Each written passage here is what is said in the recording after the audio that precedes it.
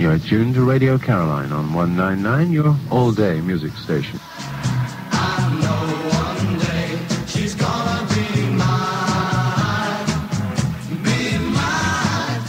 It was an adventure on the cold windswept North Sea. In that age of the swinging 60s, the miniskirt, the politicians' talk of never having had it so good, flower power, not forgetting high employment and a feeling that if you were young, you could change the world. It, it seemed the natural thing to do. After all, if the BBC wouldn't give you all-day pop records on radio, then why not go right out and start your own radio station, even if, because of some tiresome government regulations, you had to house it on an old ship swinging at anchor off the Essex coast. This is Simon Dee talking to you on behalf of all of us on Radio Caroline, here, four and a half miles away from Felixstowe. Now, what can I tell you about uh, the station? Well, our technical equipment, I suppose. Firstly, the transmitters are made by Continental Electronics in the States and are 10 kilowatts each, two of them costing about 50,000 pounds each. And they will shortly be looped together, I expect, to give us a stronger signal when all the uh, boffins have finished working on them. The studio itself consists of various equipment, tape recorders, record players, of course, basically in a mixer. The record players are made by Gates, costing about 500 pounds each, and the Ampex tape recorders, I don't know the cost of those. I think they're about a thousand pounds each. Got about five of those. However, officialdom reacted in its usual and traditional manner. Daily Telegraph, March 1964. Broadcasting from the pirate Radio Caroline has been causing fairly serious disruption of the North Foreland radio station's ship-to-shore communications network. A GPO spokesman said the pirate station is outside our territorial waters. Nevertheless, this type of broadcasting is contrary to international regulations. But was it? According to the pirates, they were well within international marine law by being outside territorial waters. That Easter Sunday marked the start of a new kind of broadcasting for the United Kingdom. But that beginning for Britain wasn't the start of watery wireless in Europe.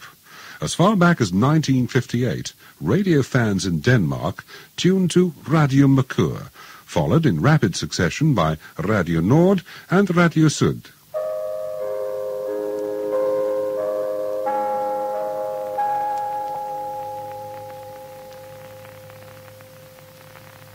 De lytter til Radio Merkur.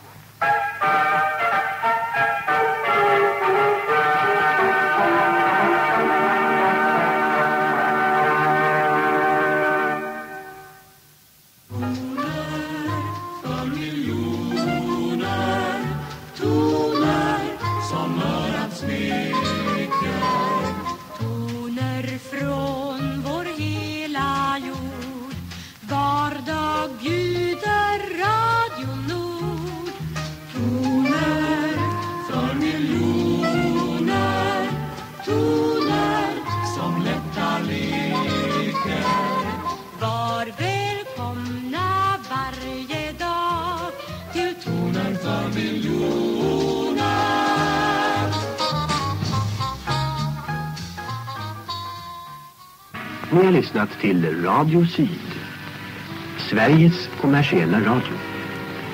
Vi gör nu ett uppehåll i våra sändningar. Tackar er som lyssnat, önskar er en riktig god natt och hälsar er alla hjärtligt välkomna tillbaks klockan sex.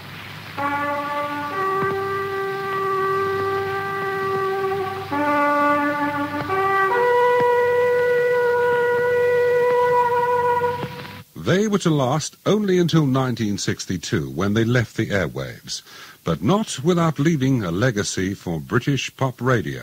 Well, in those days, it was a bit chaotic. I mean, the actual first day of transmission was a big scary thing because we started put the transmitter and all this equipment on the ship in Northern Ireland and in a secret port.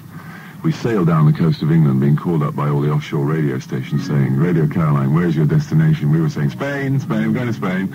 And of course, when we turned uh, Land's End, we turned east and went up the channel and anchored, and they were all saying, you know, why, why did you change your destination everything? We were a bit scared. We had a Royal Naval destroyer come out and do a circuit round us, and we were absolutely out of our minds we didn't know what was going on, but we saw lots of cameras, and obviously they were photographing us. Anyway, we dropped anchor, and um, then on 12 o'clock on Easter Saturday, I sort of sat down very shakily in front of this microphone, not knowing how many people were listening, saying, Radio Caroline, This is Radio Caroline on 199 meters on the medium wave, your all-day music station. We should be playing records for from 6 until 6.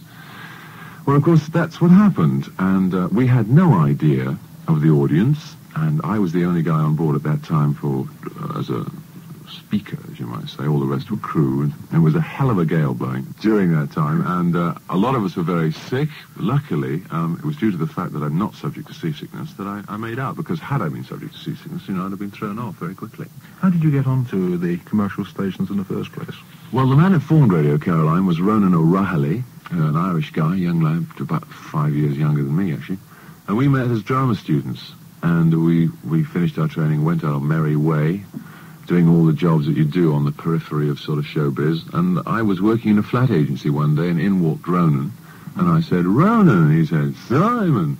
And, uh, you know, he said, I'm starting an offshore radio station. Do you want to earn 15 pounds a week? and I said, yeah, I'd love to. And of course, the thing is, this is all we earned in the opening days because we had a very limited amount of money until the uh, commercial started, and we had to, well, you know, a million things, million things. And I only just earned 15 pounds a week for sitting out in the middle of the North Sea playing records the government against you, the GPO against you, the Admiralty against you, the customs against you, the record companies against you. But we made out because the, the people, the audience, were for us to the extent of some nine million in the first four days. Within hours of that broadcast, Simon Dee and his fellow crew members were to discover that government reaction was not to be their only problem.